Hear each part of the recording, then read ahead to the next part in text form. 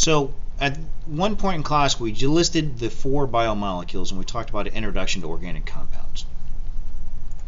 So now let's elaborate on what we expect our students to know about these four biomolecules, these macromolecules. Brought to you by Curious Moranland. So here they are. Carbohydrates, lipids, proteins, nucleic acids. So what my students are expected to know is not only the, that this, these are small molecules that combine to make larger molecules and the examples of the small, the medium, and the large for carbohydrates, what is the basic structure? So these are the next couple slides are notes that my students copied down to help them with a handout. So I'm going to go over all that in a second. So um, if you're one of my students and you've missed class, you should pause and copy down this video. So this is elements that make up a carbohydrate. This is the monomer or what we call the subunit. For carbohydrates, they have we have three different types of, of uh, um, molecules that we want to focus. We have the monomer, the some people will call this a dimer, or two monomers stuck together, or a bunch that are called poly. Right now, we're just identifying the the name of the macromolecule, it's the elements that make it up, and the any monomer or polymer names. So next, and so this is hopefully will go really quick quickly. Um, next we have lipids. Now I'm going to actually come back to this slide in a second after I point out here's the elements. Hey, it's the same three. Carbon, hydrogen, and oxygen. In order to be organic, it has to have at least carbon and hydrogen. But the molecules, the macromolecules, they have carbon, hydrogen, and oxygen.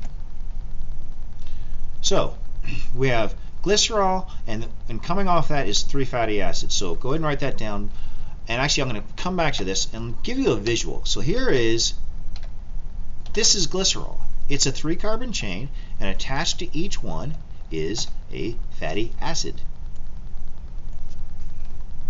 So let's go ahead and look at this. Excuse me. So back, oops, let's go back to this. If you're one of my students, you should pause and copy down this slide. And this whole PowerPoint is on Blackboard, just the four slides, not these elaborations. So let's go ahead and go to proteins now. Proteins. now, this is the most complex monomer that we have. You'll notice it has four parts. So I'm going to go ahead and go to the next slide and we'll come back to this. And I'll, if you're one of my students, I'll say, okay, pause and copy this part down right now. One minute before I do that, you'll notice the polymer is actually the polypeptide. It's several amino acids combining. So let's look at this. So we have part one, two, three, four. We have the amine group. We have the acid group, which is actually carboxylic acid. These two make up the name amino acid. We have a standard hydrogen because uh, carbon is, has four valence electrons. It's got four covalent bonds and it's equally spread out. And then we have the R group. This R group could be up to 20 different possibilities. For example, and my video's cut off here, but you see amino acids. So each one of the, here's the R group, here's the R group, here's the R group. This is three of the 20 amino acids. Okay, let's go and finish up by talking about uh, mentioning the 20 amino acids. And then let's look at number four on our list. If you're one of my students, I would pause, make sure you've copied this down.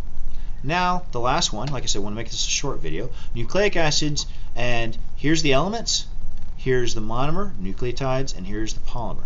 Now let's pause for one second and look at the elements. CHON, nitrogen, carbon, hydrogen, oxygen, nitrogen, phosphorus. If we go back to proteins, we have carbon, hydrogen, oxygen, nitrogen as well, but this time we have sulfur.